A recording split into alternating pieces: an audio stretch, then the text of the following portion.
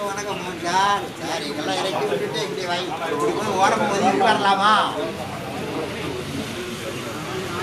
வாங்க வாங்க என்ன ரொம்ப நான் சொன்ன உலகத்துல நம்மலாம் ஒரு ஊர்வலம் போறது போல ஒரு கோடி கோடியா